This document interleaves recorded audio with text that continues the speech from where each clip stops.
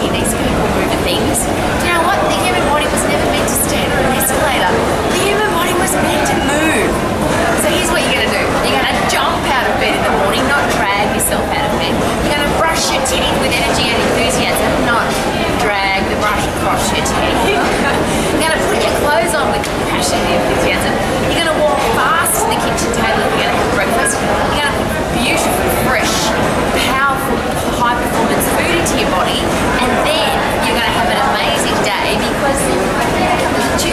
it gets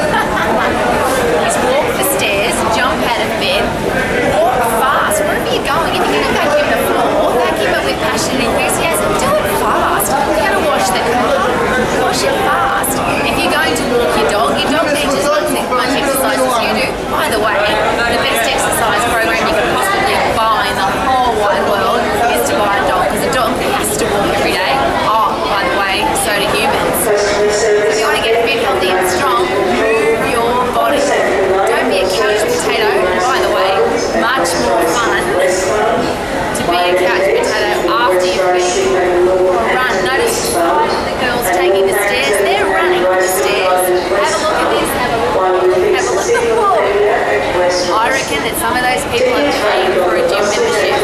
Be healthy, fit and strong and move your body.